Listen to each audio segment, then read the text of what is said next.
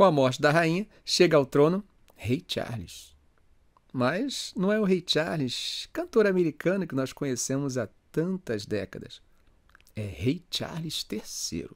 Bom, se é Rei Charles III, automaticamente existiu o Rei Charles I e o Rei Charles II. Você já ouviu falar deles?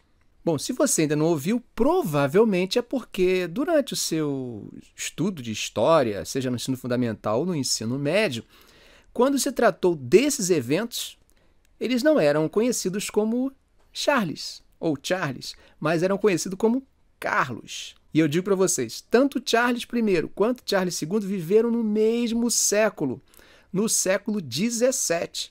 Para ser mais preciso, um foi sucessor do outro. Embora entre o Charles I e o Charles II teve um período de uma experiência republicana na Inglaterra. Charles I ocupou o trono em 1625. Era um rei Stuart de origem escocesa. O governo dele foi marcado por um período de atritos entre o rei e o parlamento. É que o parlamento era ocupado em grande parte pelos chamados puritanos, que eram calvinistas. E, como nós sabemos, a religião oficial na Inglaterra, desde o século anterior, ou seja, do século XVI, era o anglicanismo. Então, o rei Charles I era um anglicano. Isso dava a ele duplo poder: o poder eclesiástico e o poder temporal. Mas, além disso, ainda existiam desavenças entre os puritanos e os anglicanos em relação a questões teológicas. Por exemplo, os anglicanos eram arminianos, enquanto os puritanos eram calvinistas. Quer dizer isso? Para os arminianos existia o livre-arbítrio, já para os calvinistas, não. Era a eleição divina que decidia, ou seja, eles eram defensores do que a gente chama de predestinação.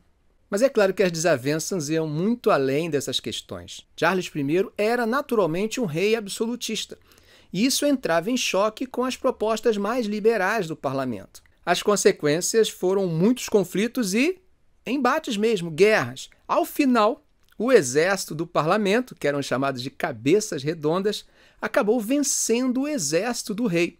Ele foi preso e acabou sendo condenado e decapitado. Após isso, o parlamento assume o poder sob a direção de Oliver Cromwell. O período dura mais ou menos 11 anos. Não dá muito certo a experiência republicana e a monarquia é restaurada, chegando ao poder Charles II. Charles II havia ficado durante um tempo como exilado na França, na França católica de Luís XIV. Ao chegar, embora ele fosse anglicano, tinha forte simpatia pela, pelo catolicismo. Os atritos com o parlamento voltam a existir. Ele vai inclusive fechar o parlamento em 1681, mas não dura muito tempo. Acaba morrendo em 1685. Nesse momento, ele vai ser substituído por Jaime II. Jaime II vai ser o último rei desse período absolutista inglês.